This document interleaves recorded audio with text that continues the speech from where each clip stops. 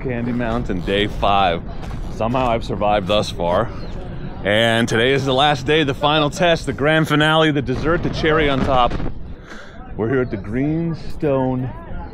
It's like an OHV area. I don't know if they call it that, but that's what we would call it in the States. It's just trails and trails and trails. It reminds me a ton of home. Reminds me of like uh, Huckleberry Flats, one of my favorite places out by Oak Ridge. A little bit like Shotgun Creek, but hopefully good, unlike Shotgun Creek. The trails are marked. This is maintained by a club. They don't look rutted out or destroyed at all. We got some good chocolate cake dirt today, and I'm calling it right now. It's gonna be a good day. It's gonna be a good day, Tater. Wearing my lucky Grizzbait jersey. That's right. This baby was the only reason I got through the second day of the Shane Watts training. I'm sure of it. So slapped it on. Let's get out and ride and try not to die. That's always the goal. So this place is called Greenstone, which means you're gonna get a plethora of Guns N' Roses Mr. Brownstone references today at least for the early offing until I hyperfixate on a different song. So I've been dancing with Mr. Brownstone. What an honor it is to be roosted by the great and powerful Barry Morris.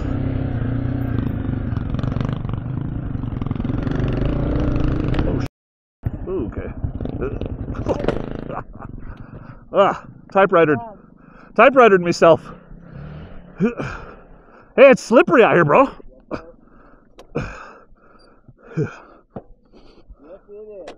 I can't even get on. that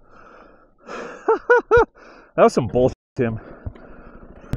Okay, the groups are split. I'm in the F group, the easy group. We picked up two new riders. Mike's right in front of me. Carl's ahead of him. They don't feel like the. Apparently, it's pretty technical and there's a lot of wet roots and shit on the other route, so they're just like, I've had enough. They're gonna take it easy with us today. And they didn't say this was the easy route, they said it was the easier route. So, yeah, look at that. Giant ass log to go over right away.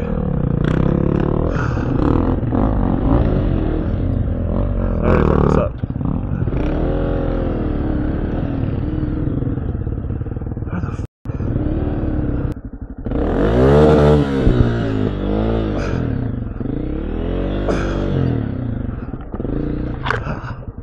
Oh, f- what the fuck? Yeah, well, off to a good start. By good start, I mean suck. Sucktastic. Man, these trails though. Oh yeah, this is a lot more like home. A lot more roots and shit. A lot more garbage and shenanigans.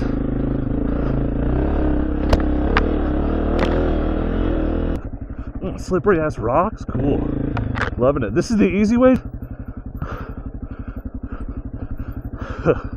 We're supposed to be going up a mountain, not down it.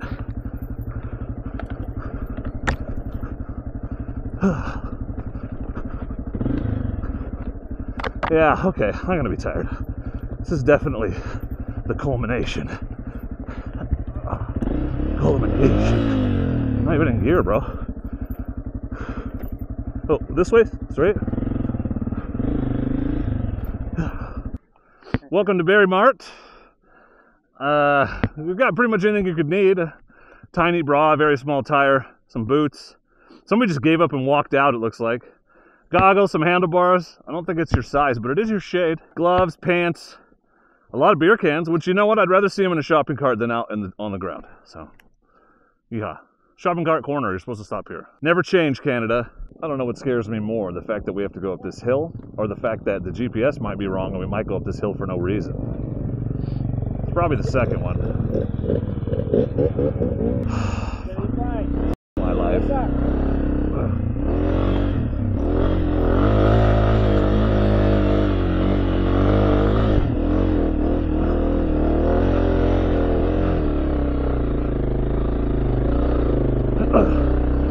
It just keeps going.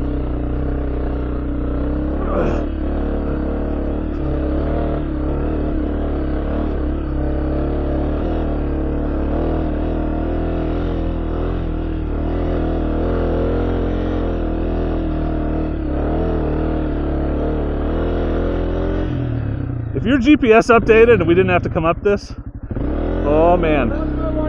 Yeah. I'm just waiting for him to be like, oh, just kidding. I had you in mind when I double checked. That's why I wanted to run up the road. I love you. There's nothing worse than being terrible in front of one of your heroes, except being terrible in front of one of your heroes while he's filming you.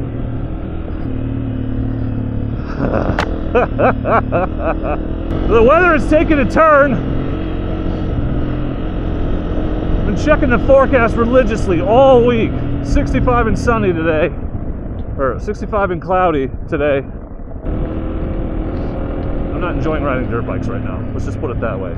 It's not anybody's fault. Uh, my goggles are super foggy. I can't see shit. Just came. I don't know what it was, but I came across the edge of this pothole or something, and I had to just goose it, and jump it over because I wasn't gonna make it otherwise. But I did not see it until it was right in front of me. So I'm trying to balance riding a reasonable speed with being able to see, but I just can't see. I don't know if the sound's even gonna work. I didn't put the waterproofing on my mics. I'm just woefully unprepared today. And I guess that's my fault. I should know better. I ride in a similar climate all the time, but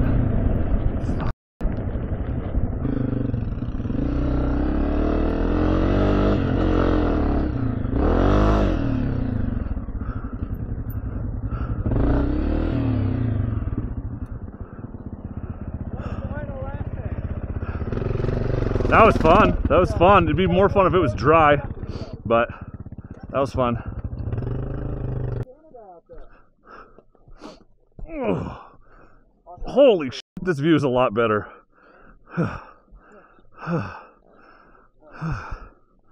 okay, well, the rain has slowed down. Oh, what was that? I heard a squirrel. Okay, fine, worth it, but geez, I'm cold. Come on. Fuck. Oh, you should make it. I should be able to flog the shit it. See that? Like, No, it'll be great after Mick rides it. At least it won't need a valve job. Okay, pretty great to be able to stop and, and get warmed up at the uh, fire lookout up here. The clouds are rolling back in. The rain has stopped for the moment. I'm not going to say it's done because that would be stupid, but they momentarily teased us with the option of, a, of an easier way down and then just said, haha, just kidding, we're all going the same way. So,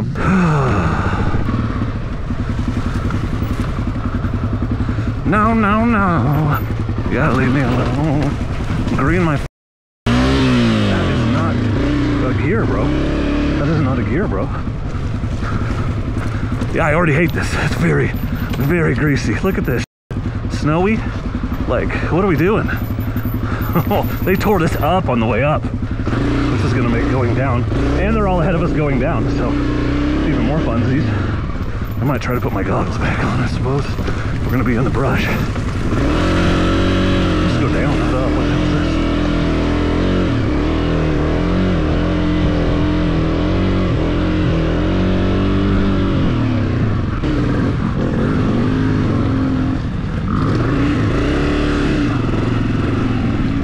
Ah,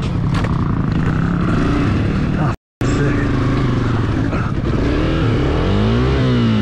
Damn it.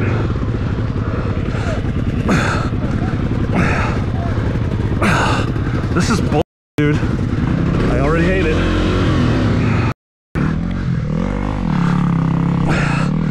I'm good, I'm good, I'm good. To get her straightened.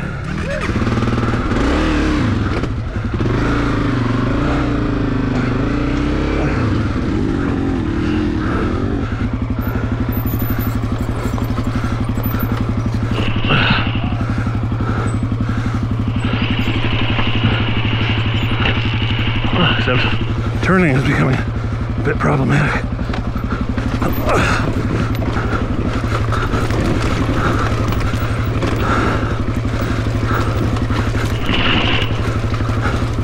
Yeah, super fun. Love it. Love every second of it. I'm tired. And I've discovered that uh, I don't think I like single track. Or at least I have a mental block with it. Because stuff I could do on two track, I just, I hit it on single track and I just lose my mind. And I don't know why. I think it's the lack of options. You get tunnel vision.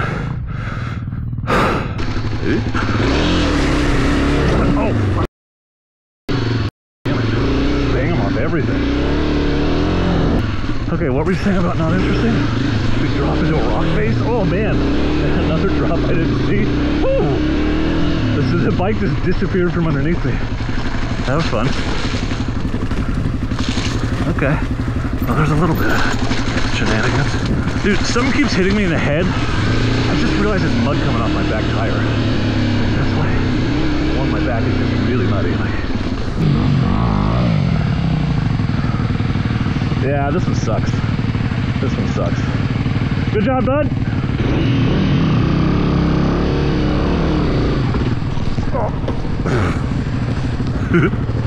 nah, I'm not doing that.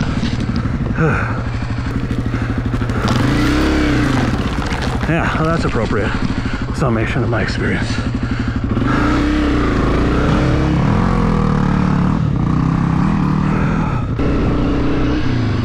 All right, this is the last trail section. Back to the van, which means I've almost arrived. Brisbane. Nope. Which means I've almost arrived. Big Rock Candy Mountain. Now I remember this trail. Good evening, everyone. George and Maria here. Um, as far as I know, this is a, a, a disco. It's called a disco because originally it started in Mexico. People just grabbing a plow disc and then just welding up the holes where it was screwed onto the machine. And then put a couple of stones and a little bit of fire underneath it. And that created a, uh, an, an, um, a venue where they could just cook a good meal. If a lot of people they worked on a farm or they're doing stuff together ranching or stuff like that uh, it was uh, they, they call it uh, disco or discada.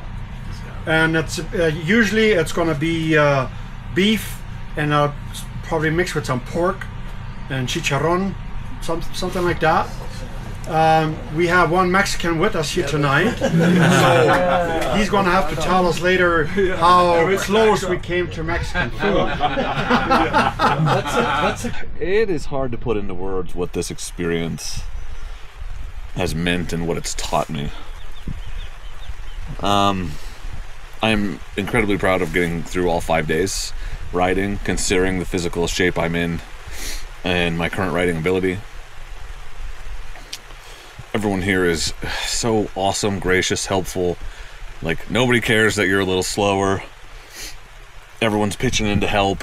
A couple guys rode my bike up twice. I had there's two hill climbs. I first one I could not get up, and the second one I was just so gassed I didn't want to keep trying. Um, those were both on day two, so guys are helping with that stuff. But uh, you know, even though we had two very distinct groups, a faster group and a slower group, it just felt like one big happy family, one big group, and uh, I really appreciate that. So thanks to everyone that was here.